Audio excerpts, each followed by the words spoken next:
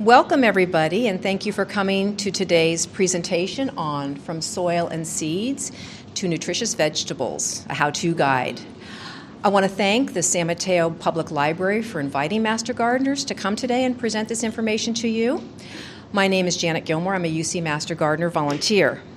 Just a little bit about the UC Master Gardener program.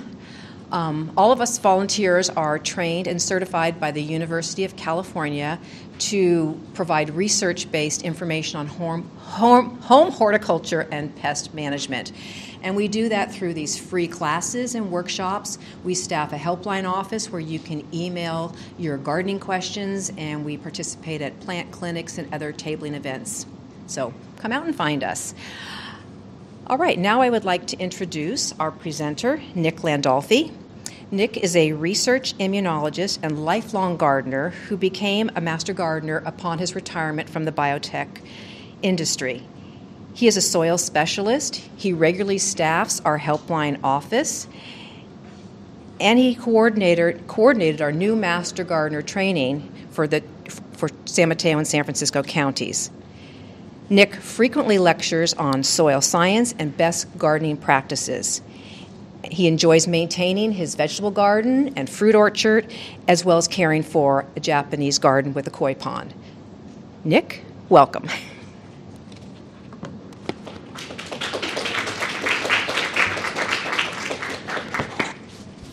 Thank you, Janet, and thank you, Michelle, for the invitation to speak today.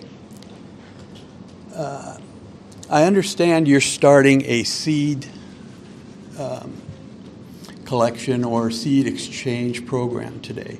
So, in trying to come up with the most relevant topic, I felt something like starting from soil and seeds to nutritious vegetables was specifically relevant. Now, if you're a beginning gardener, I think you'll learn quite a lot. If you're a experienced gardener, much of what I say you may already know, but I'm hoping that you will get some new information. This is an expansive topic, but I've broke it down into these uh, subtopics. Number one, soil. Number two, seeds and germination. Number three, transplanting those seedlings. Four, seeding and plant care after they're in the ground. Five, harvesting. And six, soil rejuvenation and planning for the future. Let's start with soil. Soil is probably the single most important factor in terms of successful gardening. You want to have healthy soil. While plant selection and um, uh, looking in terms of sunlight limitations and temperature, carefully selecting your plants, you can overcome some things that are specific to your gardening plot.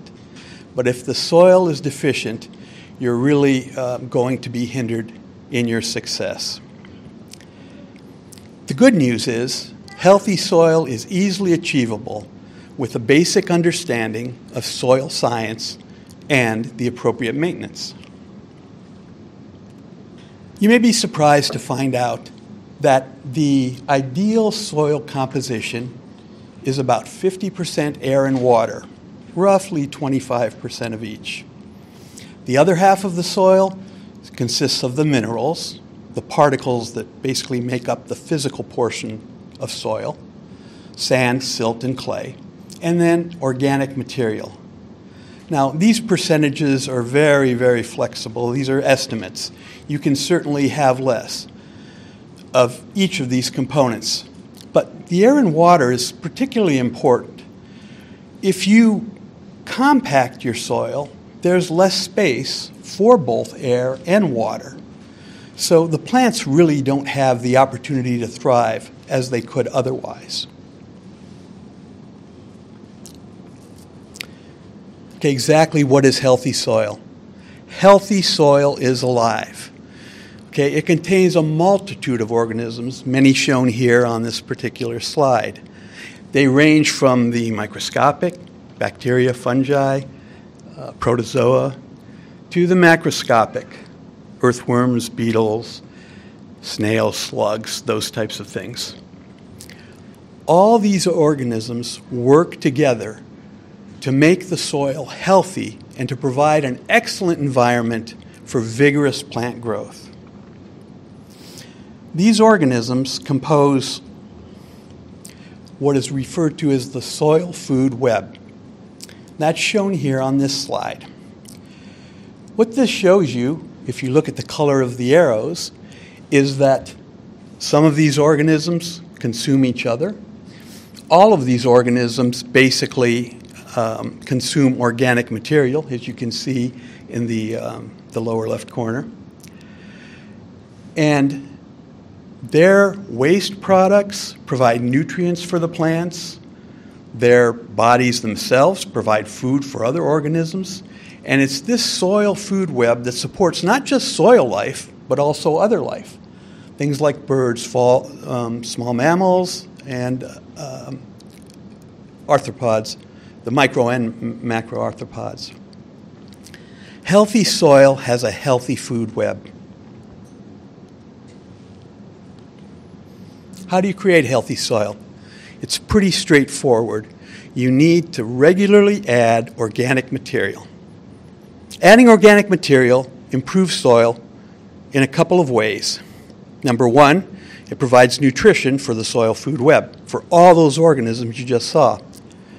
Number two, it enriches the fertility of the soil. These organisms make nutrients available to the plant that the plant can thus utilize for vigorous growth and productivity. It improves soil structure.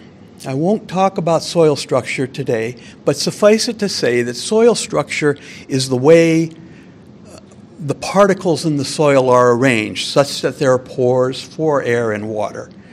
If you have a healthy soil, you're going to have a good soil structure. Adding organic material increases the capacity to retain nutrients in the soil. And finally, it enhances the water holding capacity. The USDA claims that a pound of organic material can hold 18 pounds of water. So you can see that's, a very, that's very advantageous. The simplest way to add organic material is simply to add compost to your soil. That's all I'm going to say about soil today, right now. I want you to gain an appreciation that the soil is indeed alive. Don't think of it as a section of dirt in your yard that you want to stick plants in. You need to care for it as it is alive, and this will go far to improve your odds of success in gardening. So, the key points are the soil is alive. Air and water collectively compose about 50% of ideal soil. A thriving food, um, soil food web enhances the fertility of the soil and thus the vigor of your plants. Adding organic material, and while there are other things you can add, compost is the, the simplest, will improve the soil in a variety of ways. That was a very, very abbreviated discussion of soil science. If you are interested, there's a two part series that I was part of uh, that talks in more detail about the characteristics of soil the physical, chemical, and biological characteristics of soil. I also should mention this, uh, these two seminars, recorded seminars, are on the Linkso Community Resources tab of Linkso Garden Materials. It's a great place to look for gardening related topics. And uh, it's worth your while to take a look there. You'll most likely find something you're interested in. Okay, that covers soil. Let's talk about seeds and germination. This is kind of the scheme of what goes on when you decide to start a garden. Hopefully, you start with a garden plan. You know what you want to grow, the types of things you want to grow. You then can take basically two routes select and purchase seeds, germinate those seeds, get them ready to put into the ground, and then transplant them into the ground. Now, you can take another route, it's a little simpler, takes a little less time. And that's simply purchase your seedlings. And just for a rough estimation of time, look at the time scale on the far right side of the slide, and this is in months. So you can see you can save a considerable amount of time if you purchase your seedlings. But there are some disadvantages. Here are some advantages of using seeds. Number one, the biggest one really, is increased variety. If you look at seed catalogs, and I'm sure you've all looked at those, there are multiple varieties of tomatoes and peppers that you can select from. At a nursery, you won't necessarily have that wide a variety of plants. So you have a much better selection if you start from seeds. It's lower cost. The cost of a seed packet is roughly the cost of a seedling, so you can save a fair amount. And you have better control over the timing of when the seed was germinated as well as its nutrition. You know when you fertilized it. Okay? That's not necessarily the case with seedlings. You basically get what's available at the time you purchase it. There are good, some good things about seedlings, of course. Number one is the convenience. I already mentioned the cost, that's not necessarily an advantage. It's lower risk. If you plant four seeds, you may get four plants, or you may not. If you go into a nursery to buy four plants, pretty much you're guaranteed of coming out with four plants. And then there's the instant gratification. If you remember the time scale, it takes a few months to go from seed to seedling.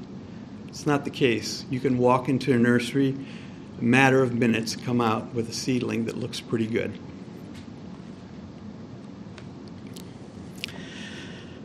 So, if you take care with your seed selection and the germination conditions, this will go far uh, a long way as to ensuring your success.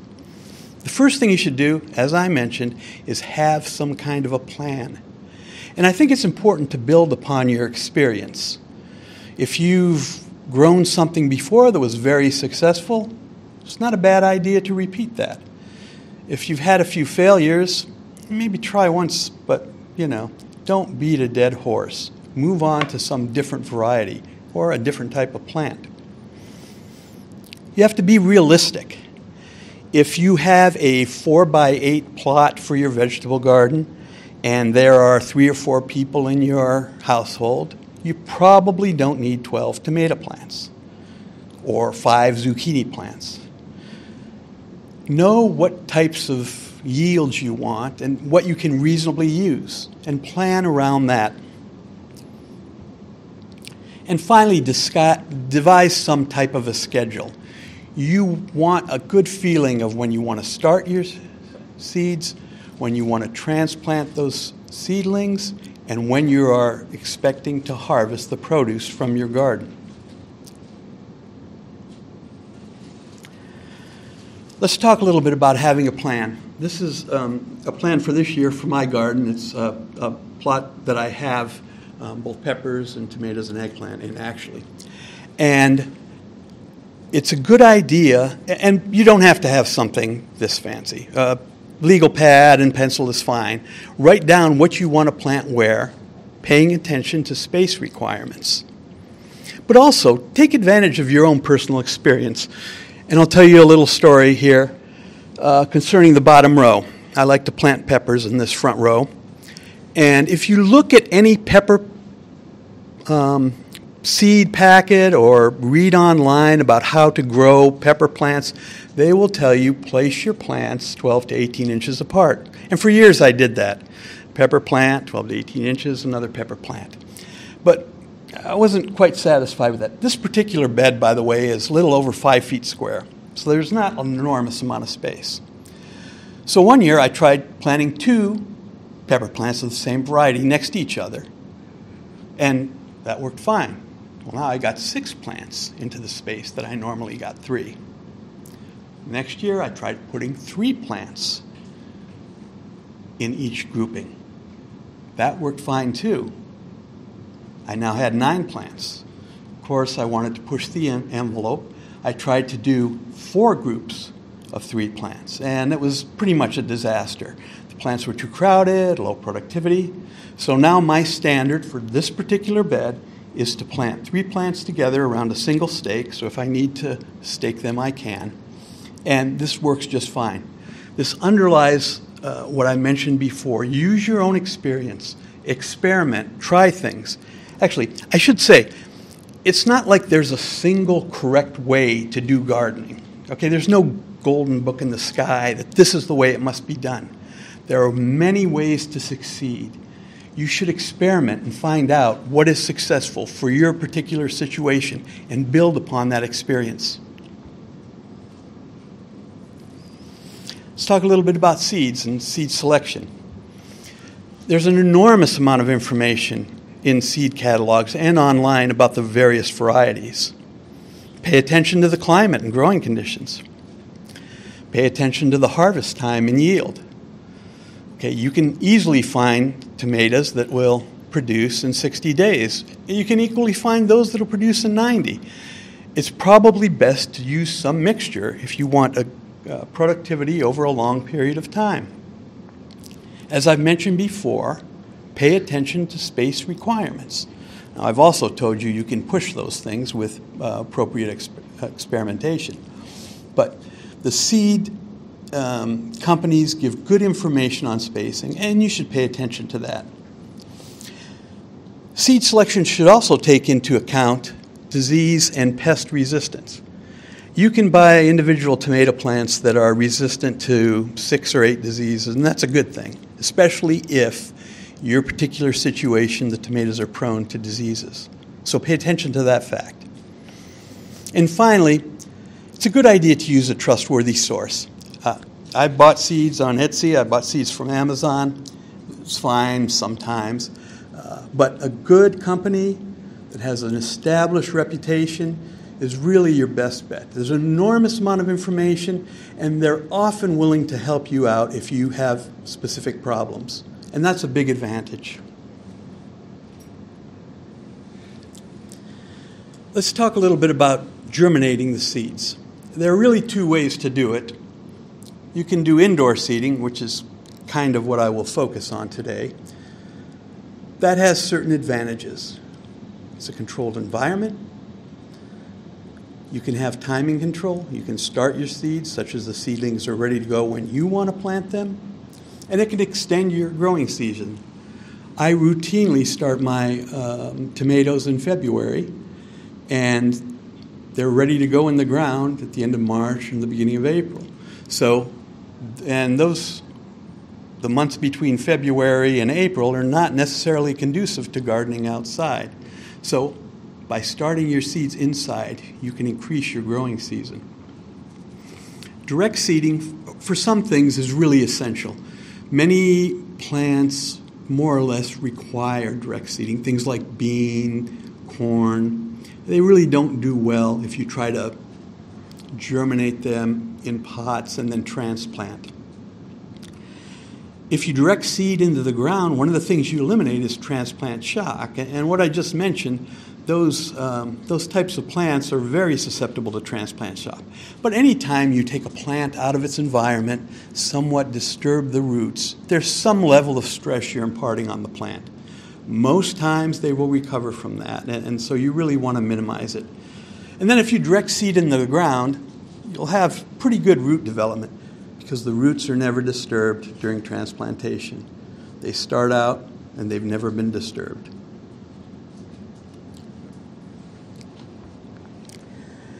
For optimal results of indoor germination, you really want to use a seed starting mix specifically formulated for that process, okay?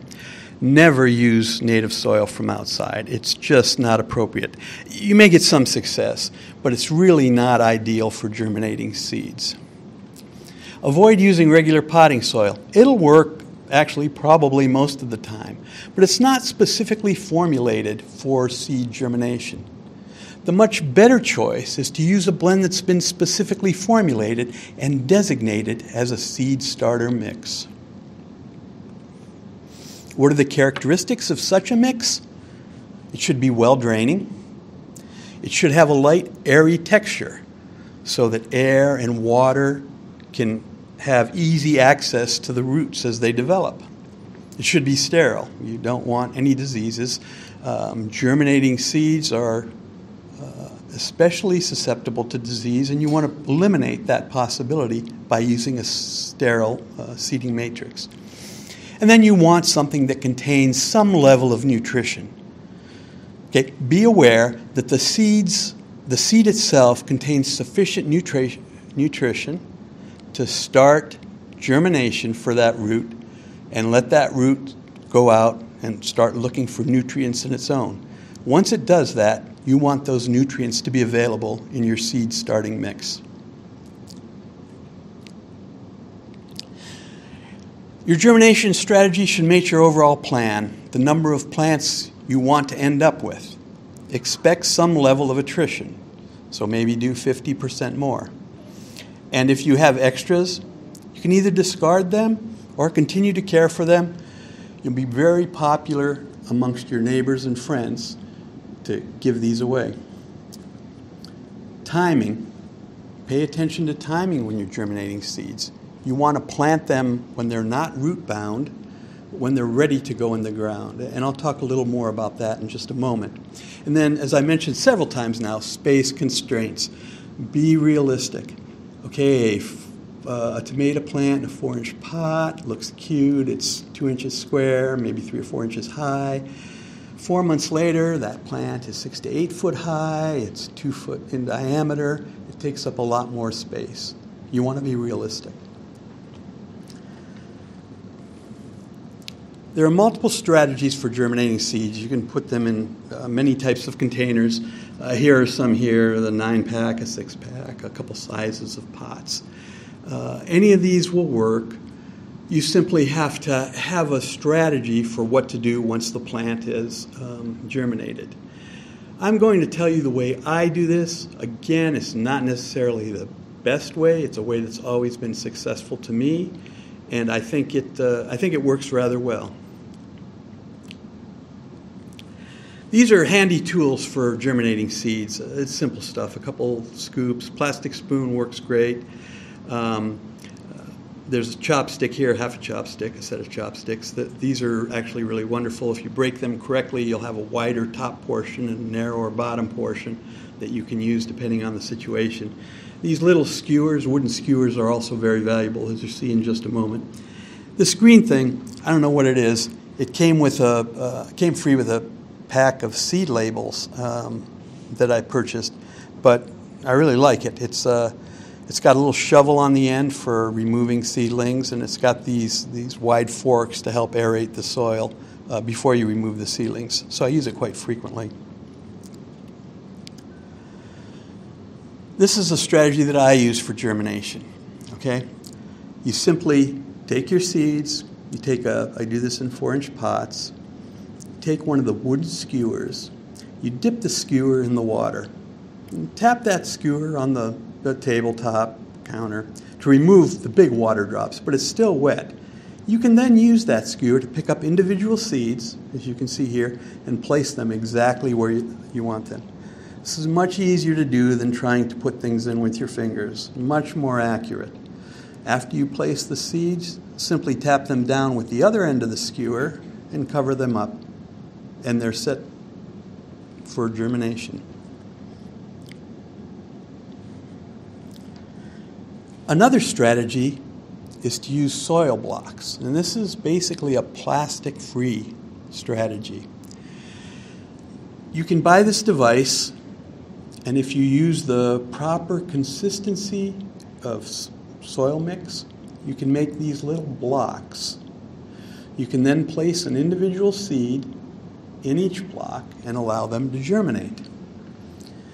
The advantage of this is, as you can see on the far right side of this slide, if you have plants in plastic containers, when the roots hit the plastic, their tendency is just to go around and around looking for more, uh, more soil. An interesting thing happens with soil blocks. Because there's no surface there, the roots hit air. When roots hit air, they don't go any further. It's air. What they do do is branch further back. And so you get a much more um, concentrated root ball with seed blocks. Then you can basically let the seed block, uh, the seedling develop in the seed block and plant the seed block into the ground. You've used no plastic in, in generating your seedlings. Once you have the seeds in the ground, you want to germinate them. I know putting uh, your seeds on a window in sunlight sounds like a great way to do it. In reality, it's probably the worst way to do it. The best way to germinate seeds is have a, um, a strategy where you use a heat pad and a grow light. That way you can control the conditions. The conditions in a window are just too variable. Doing something like this gives you strict control over the conditions. This is um, a bookcase in my office that I've taken over for seed germination. You see, it has a grow light on top. What you can't see is that it has a, um, a heat mat in the bottom of the tray that holds the pots right above that white um, towel that's there as an insulator. And I can set this up so the plants get 16 hours of light every day and that the heating mat controls the temperature of the soil. Actually, let me take a second to tell you how heating mats work. They don't heat to a specific temperature, but rather they heat about 8 to 10 degrees above the ambient room temperature. So if you keep your home at 68, have a setup like this, the heat mat will uh, heat to 76, 78 degrees, and that'll be the degree, that'll be the temperature of the soil sitting on the heat mat. And that's very conducive to seed germination. So heat mats are important.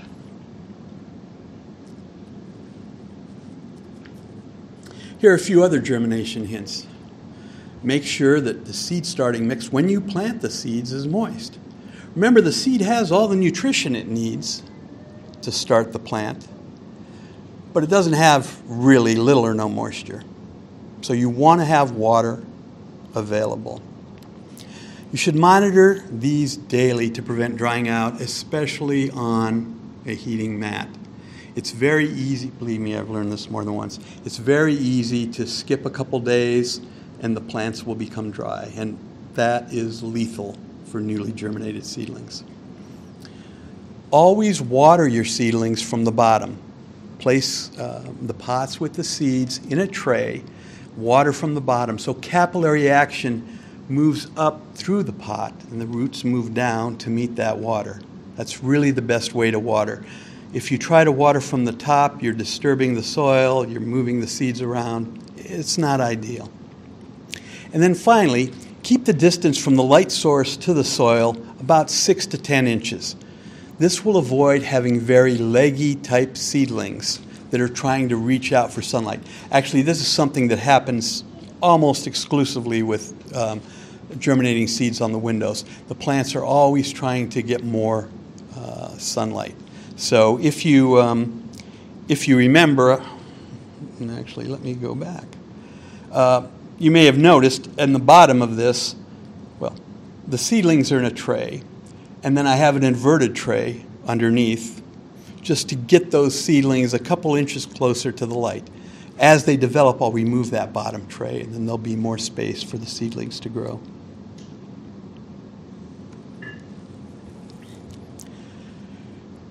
Depending on the plant, seeds can germinate somewhere between 6 and 21 days. Tomatoes are, are, depending on the variety, it's not unusual to see seedlings emerge in seven day. Uh, peppers always seem to take much longer, at least the varieties I grow, 14, sometimes 21 days before you'll see germination. It's, it gets to the point where you really wonder um, if this has been a bust. So you have to be patient.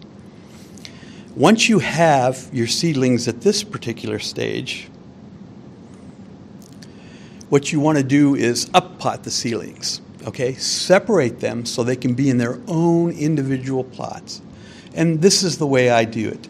Um, you can see on the left there, I have probably nine or 12 tomato seedlings that are in a, uh, in a pot.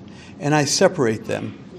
Very gently remove the plants from the pot. Now, this seems like a, um, a potentially damaging process, and in fact, it can be if you just yank the seeds out. But if you gently remove them, you can see you, you retain a fair amount of the roots. You can put these in another pot, fill that pot with soil, and now your seedling is ready to grow in preparation for putting it into the ground.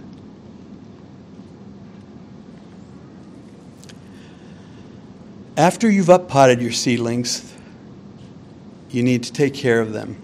Again, they're going to require another four to eight weeks of growth. You want them to become um, very sturdy, resilient seedlings before you put them into the ground. So let them grow under protected conditions. If it's uh, you've grown these inside, keep them inside. Um, now, sometimes space is a problem. That's my problem. My little bookcase in the office won't um, well, it might accommodate one pot with 12 tomato plants. It won't accommodate 12 tomato plants. Uh, so I have an area similar in the garage. It's a little bit cooler, but again, the use of heating pads brings the temperature up, and so it's uh, it's where basically I expand my germination process and, and seedling care. Again, if they're on heating pads, always monitor so they don't dry out. It's very important. Always water from the bottom again. You want the capillary action to bring the water up to the plant. Then, when plants are getting close to being put outside, the best thing to do is uh, a process called hardening off. All this simply means is that you want to make the plants, uh, you want to let them adjust to outdoor conditions, which are very different from the conditions they've grown up in in sort of a, a gentle way. It's very simple how you do this. Uh, first day, put them out for a couple hours in morning sunlight. And the next day, you can increase that, maybe double it to four hours. Slowly increase exposure to sun so that after you know, three or four days, you can leave them out in afternoon sun. And now they're getting used to sunlight. Because remember, they've only been exposed to artificial light. Sunlight's very different. For the first week, I would bring them inside just because usually at the timing this is done, uh, it's still getting cold. For example, this was probably done in, in March. And especially this March, we were getting down into the low 40s.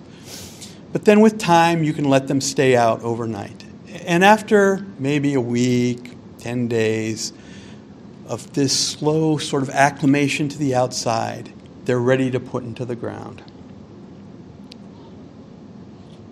Okay, that covers soil and seed germination. Let's talk about transplanting the seedlings. Before we do that, let's go back to this diagram. Now remember, we've pretty much stayed on the left side here, but there's another path and that's the right side. And you can simply go ahead and purchase seedlings and, and then transplant those into the ground. And you can save a lot of time. But you won't get the satisfaction. Before you transplant your seedlings, you should prepare the bed. Okay? You want to remove any old plants from last year, any weeds. But don't just yank them out. Cut the plants off at the surface of the soil. Okay, this leaves the roots in the ground where they will decay naturally. Remember, one of the ways I told you, uh, actually, the best way to improve soil is add organic material. Roots are organic material, they're already added to the soil. Why not take advantage of them? Actually, I'll tell you a little story. The, um, for years, de- maybe decades. Uh, you know, the end of the tomato season, I used to yank out my tomato plants. I used to pound the root ball on the ground, and I used to toss it in the garden waste. Okay, then I started learning about soil, soil science, and I realized I'm damaging my soil in at least three ways. Number one, I'm yanking out perfectly good organic material that's been integrated into the ground. I should leave that there. Number two, along with that organic material, I'm removing all the soil life, the bacteria, the fungi associated with those roots, and tossing that in the garden waste. And number three, I'm opening up this hole, this I've allowed the soil to develop, and it's a protected area for all these soil organisms. Now there's a big hole where the tomato plant used to be. Okay, the simplest thing to do is cut the plant off at um, soil level, let the roots decay naturally. Sometimes with a big stock, especially things like, um, well, even tomatoes, but broccoli and sunflowers especially, very thick stock. um, the whole thing won't decay. But over time, what you'll ha- end up with is just basically a little stub. It's, it's easy, very easy to discard. All the rest of those roots have been added to your soil. You want to rake and level the soil surface. You want to um, minimize deep tilling. That's something that's disruptive to uh, sort of the soil structure and soil life. So it's best to just minimize, work at the surface it's a good idea to amend the soil with organic material, as I've um, mentioned. Ideally, you want to do this one to four weeks before you actually plant. Because remember, you want that soil life to get going before uh, you plant. And then you want to um, water the soil one to three days before you're getting ready to transplant. Actually, I have a um, somewhat admittedly corny analogy, but I, I think it's informative. You know, when you go to bake a cake, virtually every recipe, step one is preheat the oven to 350, 75 degrees, right? And then you take that, uh, you then go to the next steps. Add the ingredients, certain pans, stick it in the preheated oven, right? If you do that, it's a pretty high chance of success that you're going to get the cake that the um, whoever developed the recipe wanted you to get. It's going to have the right taste, the right size. You don't have to do that. You don't have to preheat the oven. You can put the ingredients in the pan, stir it up, walk over to the oven, turn it on, put in the cake. You'll get a cake. Probably won't rise as much as the cake. Probably might not taste as good. It's certainly going to take longer to bake. So those ingredients are not going to live up to their potential. Okay, this is very similar. You want to prepare your soil so that your plants can live up to their potential. Transplanting the seeds, this is common sense and very straightforward. You want to dig a hole that's equivalent to the size of the pot. You invert the plant, catch the plant, allow, allow the plant to go through your fingers, catch the root ball. Carefully place the seedling into the hole fill with soil, tamp down gently. Don't really tamp down. Remember, you want to maintain space for air and water. And then water and mulch the seedling um, after it's planted. Okay, here's some examples of uh, seedlings that are a little too far along. The one on the far, your far left is um, more or less acceptable. You see some roots, you see there's good root development. Um, they are starting to curve around in some areas. It's a little bit different from the central panel. This is considerably more root bound. Lots of the roots now are starting to become entangled. Probably would be fine, especially if you tease the roots apart before putting them in the hole. And then this last example is you can see the bottom quarter inch of the, um, of the pod is, is basically filled with roots. This is a sunflower. Sunflowers have very deep roots and basically, these roots are just circling around, looking to go deeper in the soil, and the pot's just not that deep. This is something I just started doing this year, and I think this is great. Um, this is a real time saver for me. And that is to use a bulb planter for um, transplanting seedlings. I don't know. I never thought of this before, and, and maybe everybody does this. I've never seen it before. But if you use a bulb planter, and it's just this cylindrical device that you can press down into the soil and you can remove a core of soil, as you can see in the third panel there. And then you can put the seedling right in that hole and uh, fill it and then mulch. It's much easier than using a trowel to try to make the right size hole. Uh, it's, it's much cleaner. The soil comes out in a nice uh, cylinder. Um, I really like this strategy. I, I would urge you to try this. Okay, some hints for success transplanting seedlings. Again, a lot of this is common sense. Choose the right location. You want to transplant your tomato seedlings in the sunniest part of your garden because they need a lot of sun. if indeed you're transplanting in the spring, you want to be aware of the overnight and soil temperatures. How cold does it get at night? How cold is the um, soil currently? And you want to make sure things are above 50, 55 degrees, uh, the soil temperature at least, uh, before you put them into the ground. Adding organic fertilizer to a planting hole is important, I think. Um, the, I just add a little bit of organic fertilizer to the bottom of the hole, mix that in with the soil, and put the plant on top of it. I think it's important to give the roots a good nutritional environment when they're starting out, especially after transplant. Provide support if needed. Um, this panel on the uh, right here is um, a newly planted tomato seed, uh, tomato seedling, and you can see I used a little piece of twine just to tether it.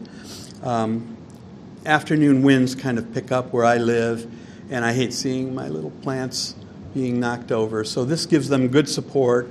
And then as the plant grows, I simply move this um, uh, uh, this twine up to keep the, the center of the plant um, basically somewhat attached to the pole. I also use tomato cages around. When the plant gets really big, those cages will support the, the foliage, the exterior foliage. And then mulching around the transplant is important. I haven't mentioned much about mulching, but mulching is important for soil. It, it really helps retain moisture. More, mulch is organic material. It will degrade over time, adding organic material to your soil. So mulching is very important. Um, here's another hint. I think using jute twine for plant ties is ideal. You know, you can buy the, the plastic um, ribbon tape. You can buy wire coated or uh, paper coated wire. Oh, there's all kinds of plastic stuff available there.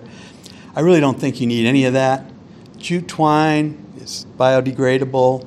Uh, the one thing you do have to do is tie a knot on each end because there are multiple strands that unravel over time. But if you do this, you can use them for three or four years. Uh, and when they've reached the end of their life, you simply compost them. They're biodegradable. There's no reason to use plastic plant ties. Let's go to seedling and plant, plant care. Again, much of this is common sense many of you are familiar with this. Water regularly once they're in the ground. Okay, you want to make sure that there is sufficient moisture. The best moisture probe is your fingertip. Simply stick it into the ground and see if the ground is moist or if it's dry.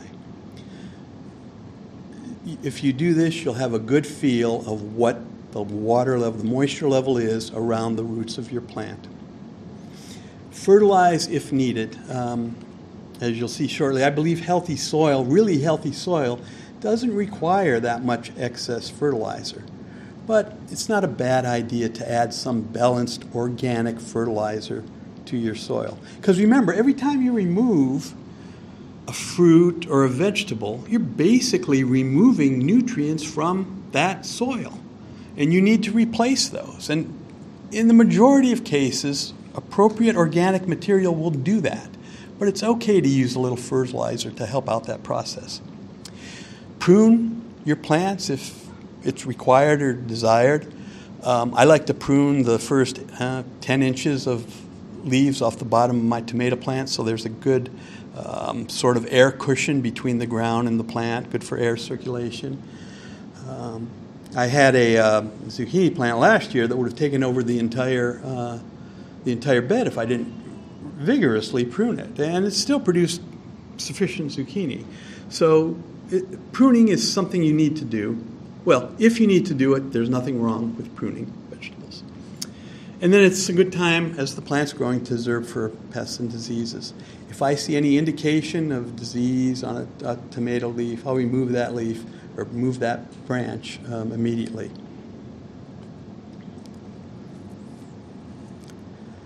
Okay, let's talk a little bit about fertilization. As I mentioned, my belief is that if you have really healthy soil, it needs minimal fertilization. Okay? If you want to fertilize, I think that's fine. Always use organic fertilizer. I like to fertilize at the time of transplanting. As I mentioned, I think it's a good idea to have those nutrients right concentrated at the, uh, at the roots of the plant. Here's some examples of common organic uh, fertilizers bone or fish meal, worm castings, composted manure. Those are all um, solid form, powder form. And, and, always use composted manure, never use uncomposted manure. It's, it's really not good for the plants. Um, some liquid fertilizers you can add to the water when you water your plants seaweed extract, fish emulsion, and compost tea. Uh, these are common examples. All right, let's talk a little bit about organic versus inorganic fertilizers.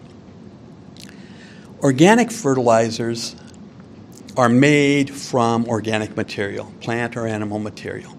Okay, and they're uh, basically they're all organic, and they feed the plant, but they feed the plant through feeding the soil life. Okay, that soil food web, organic fertilizers for, um, feed all those organisms. And those organisms, in turn, make nutrients available to the plant. Okay, inorganic or chemical fertilizers provide nutrition directly to the plant, and this bypasses all that soil life. So, why is that bad? All right, this is the nitrogen cycle this is a complicated slide. There are lots of intermediaries and, and um, chemical compounds on it. Don't worry about any of that. That's not the point. I'm not going to go into it in detail today. But what I do want you to appreciate is that there is a nitrogen cycle. Okay, you're probably aware that nitrogen is extremely important um, nutrient for plants. Okay, the N of the NPK number on fertilizer stands for nitrogen. They really need nitrogen to grow and develop properly. Our atmosphere is 77, 78% nitrogen. Okay, so there's plenty of nitrogen around. Ironically, plants can't access atmospheric nitrogen. Okay, it's in a form that they can't take up. So they need it to be processed in some way so that they can use it. That's why the nitrogen cycle exists. Okay? It's simply a, a, set of organisms and reactions that take either atmospheric nitrogen or nitrogen from decaying organic material and turns that into uh, forms of nitrogen that the plant can use. If you use an organic fertilizer, you're basically feeding all these organisms. And you're feeding that soil food web. And they're providing nitrogen in a form the plant can use. But let's say you want to use a chemical fertilizer, something nitrate based. Um, sodium nitrate, potassium nitrate, ammonium nitrate, these are all common fertilizers.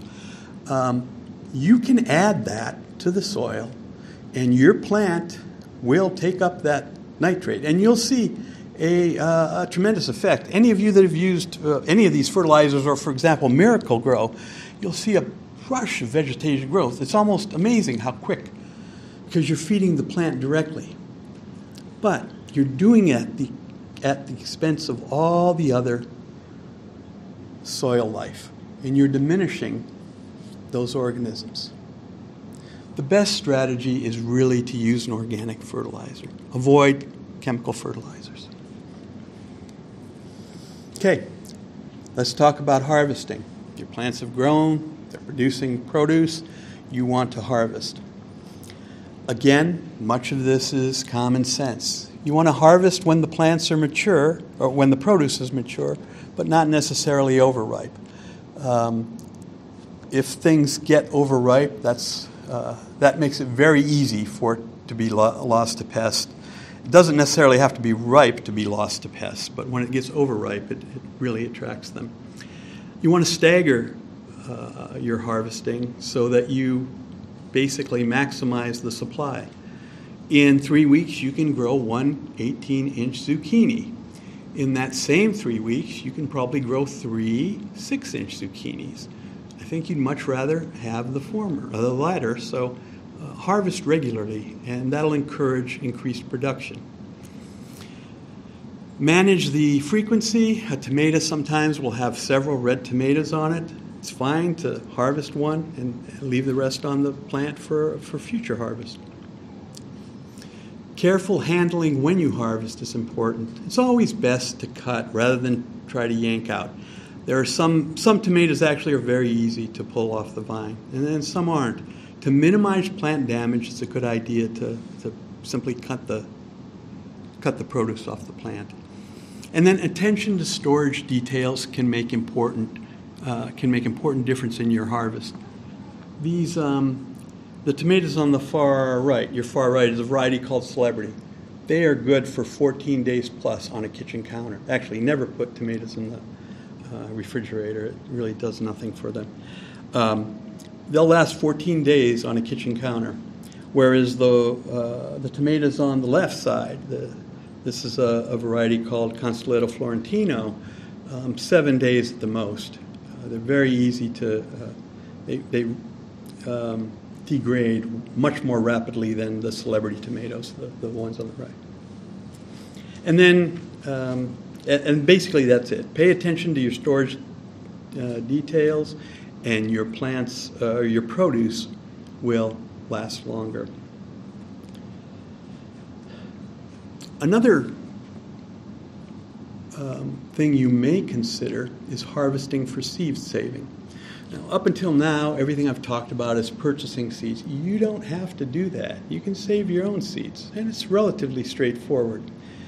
The key is you want to make sure you're saving seeds from either an heirloom or open pollinated, they're essentially the same thing, variety, and not from a hybrid or F1 variety. Uh, the reason for this is simple. The the heirloom and open pollinated varieties are relatively stable genetics. So a seed from those plants will be very, very much like the parent. The seed from the produce of a hybrid plant will contain a mixture of both original parents' qualities. So rather than being an F1, it is now an F2. And those um, qualities will not necessarily um, stay together. So you'll get a tomato, no doubt, but it might not have the qualities that you originally wanted to save those seeds for. You should allow this vegetable to completely ripen before you select your seeds, or before you save your seeds. Uh, this is especially, it's not that important with tomatoes. Once they become red, it's usually pretty good. With peppers, it's very important. You should really let the pepper um, stay on the plant as long as possible to optimize uh, the chances that your seeds will germinate from a pepper plant. You simply remove the seeds from the pulp and allow to air dry and then store them. Now, for tomatoes, there's a, um, uh, a little better strategy, and that is to allow the, um, you put the tomato seeds in a little bit of water, air spores of fungi fungi from the air will basically form a little mold on top of that water, and those organisms will digest the gel that's around tomato seeds. Then you can rinse those seeds free of the fungi as well as the, uh, the digested gel, and you have nice dry seeds, the type of seeds that you get in a seed packet. So that's worth doing for tomato seeds. You want to store your seeds in a cool and dry place. Uh, there's no reason to use a refrigerator, although if you have the space, that's fine. And if you want to, you can test germination by placing several seeds in a damp cloth and just letting them incubate in a warm spot for a week or, or a little bit longer and see how many germinate to give you an idea in the future uh, what type of germination you can expect. Okay, let's go to the last topic, which is soil reju- rejuvenation and future planning. Again, a lot of this is very straightforward and common sense. You want to clear out all the old plants from your vegetable bed, leave the roots in the ground. It's integrated organic material, it's valuable. Add more organic material to your soil, scratch it in the top couple of inches. Keep the soil mulched. Remember, mulching is important for maintaining moisture. And remember, the soil is alive. You want to provide all that soil life with some level of moisture. So if it doesn't rain for three months in the winter, it's probably a good idea to water your vegetable bed maybe once a month just to keep some level of moisture there, to keep that soil life alive. And so basically, that's the last point. Prevent your drip bed from completely drying out. That puts the soil life at a disadvantage. Another couple things that I think are important for future planning is to sort of summarize your results and your observations with what happened during the current year and make suggestions to yourself for next year. And then base your future garden plan on this information. And here's just a few examples from last year for me. These are general notes I have on the variety of plants I grew. You can see some things worked out, some didn't. Uh, it's, it's much better to write this stuff down right at the end of the growing season than it is to try to figure it out um, four or five months later in the next spring. I also like to make suggestions. Um, these are suggestions I made for this year. I wanted three, ver- three plants each of these two varieties of tomatoes and, and one variety of, uh, of cherry tomatoes. Uh, and you can see the rest here. I will tell you I didn't follow this. I ended up growing putting in four plants of each of the two varieties. I did both Sun Gold and Super Sweet 100. It's not unusual. You sort of change your um, outlook, but at least I had a basis upon which to, uh, which to make the decision. So, with planning, execution, and attention to detail, uh, it'll provide you with a productive, attractive, and satisfying garden. Now, there are just a couple of other things I want to, to tell you about. Number one, Janet gave you an overview of the Master Gardener. The Master Gardeners have a helpline. You can uh, submit your questions to that helpline either via email, um, you can actually call the hotline number, or you can walk in. These various um, locations are staffed on the hours shown here. So you can get answers specific to your question by accessing the San Mateo San Francisco Master Gardener Helpline. And uh, the website there at the bottom is the general um, homepage for our organization. It has a lot of information, and I would encourage you to um, explore that. Um, we have a monthly newsletter you can take a picture of this and go to the site and sign up. Again, you're getting the slides, so uh, you'll be able to do that. Uh, it's informative, and, and most likely you'll enjoy it.